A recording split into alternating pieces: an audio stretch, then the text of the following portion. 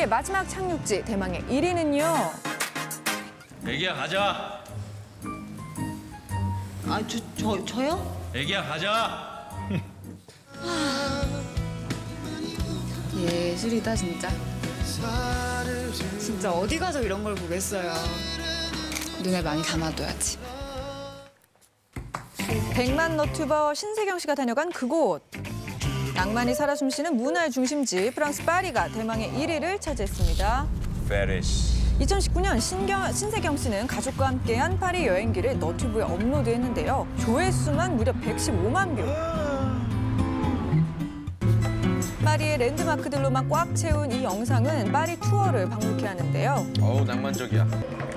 안 보면 아쉬운 파리의 상징 에펠탑부터 시작해 권력의 중심 베르사유 궁전, 파리의 심장 루브르 박물관, 몽마르트 언덕까지 영상 속에서 바뀐 장소만 무려 40여 개 정말 대단한 체력이죠. 찍는 것마다 화보 인증, 인생 사진 남긴 신세경 씨를 뒤로하고 파리를 방문한 또 다른 스타가 있다는데요. 안녕하세요, 제니입니다. 오 제니.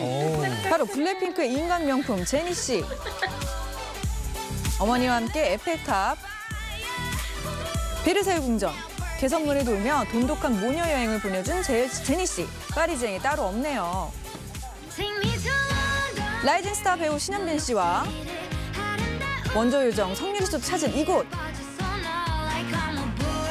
수많은 톱스타들이 사랑한 프랑스 파리가 대망의 1위를 차지했습니다. 아,